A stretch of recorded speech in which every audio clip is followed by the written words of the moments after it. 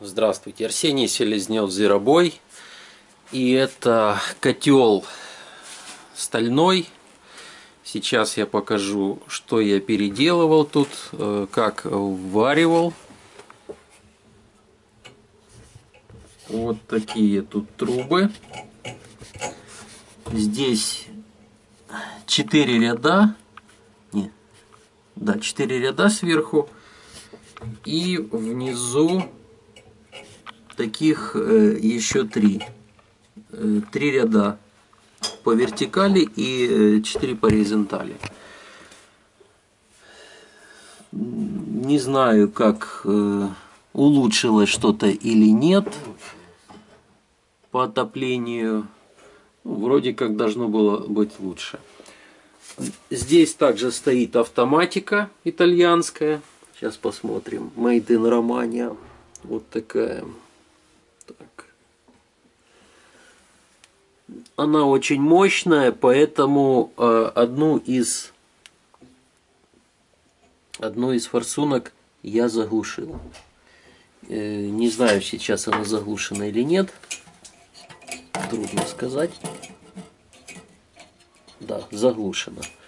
Вот это, э, вот эта форсунка Сейчас покажу. Вот она заглушена. Глушил я очень просто. Выкрутил.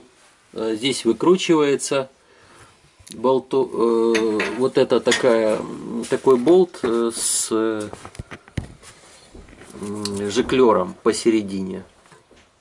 Выкручивается. Изнутри я вставил гвоздь и дополнительно его еще уплотнил э, паклей.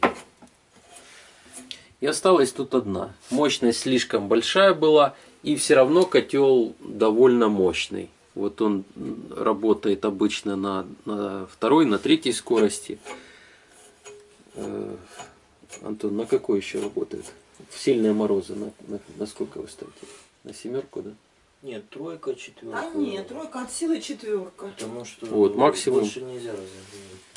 Он просто хорошо стал работать, ну, во всяком случае. А раньше вот он, да э, это самое. Раньше я и на пятерке, когда бабушка еще жива была, и на пятерке, и на семерке делала, вот это угу. плохо. Потому что система была золотая. Наверное. Ну да. В общем, в общем, если хотите ставить автоматику, вот такую мощную ставьте, но смотрите, что есть вариант э, заглушить. И тут не надо полностью разбирать все. Вот одна глушится, а одна остается. Та, что возле под запальником, вот это остается, а вот это с противоположной стороны глушится. Сильные морозы используются, если вы не слышали, максимум четверка. Иногда... Все зависит от самой системы. Теплый пол эксплуатируется 35-40 градусов.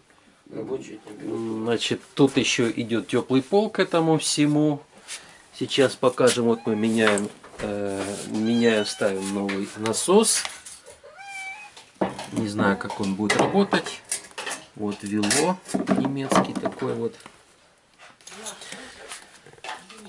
Вот такая вот система теплый пол. Только теплый пол идет, без э, радиаторов, без никаких остальных э, приборов дополнительных.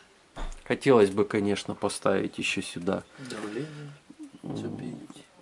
чтобы горячее водоснабжение дополнительно подогревалось. Температурный метод, если на выходе вот тут где-то понимать.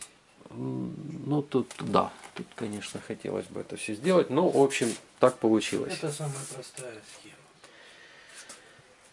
Вот сейчас сюда будем ставить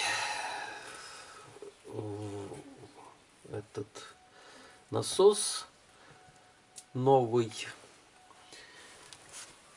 так что вот такого маленького старенького котла в принципе хватает на... 87 квадратов. 87? Да, 87 квадратов вместе с кухней и при высоте потолков 2, 2,35 было. 2,35 потолок, 87 квадратов. Кубы посчитайте сами. Э, в принципе, более-менее тут э, более-менее хорошо все работает.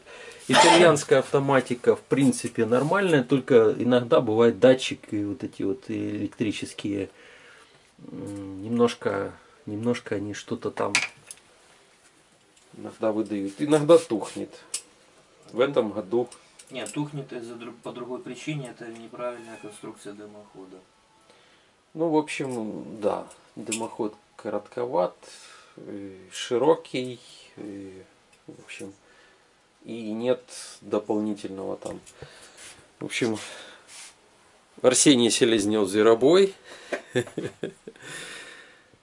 Если хотите ставить итальянскую автоматику, ставьте итальянскую. Ну, у меня лично работает наша еще та советская, и все нормально.